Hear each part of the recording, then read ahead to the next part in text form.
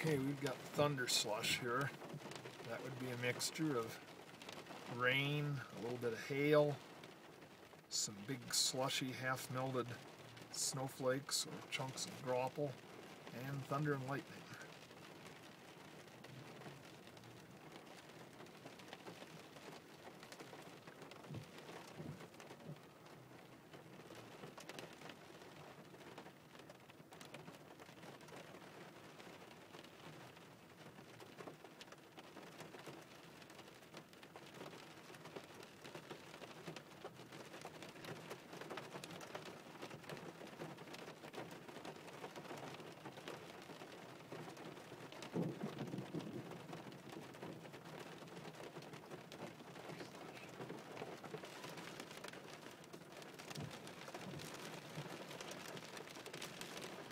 Those slush balls hitting the windshield there.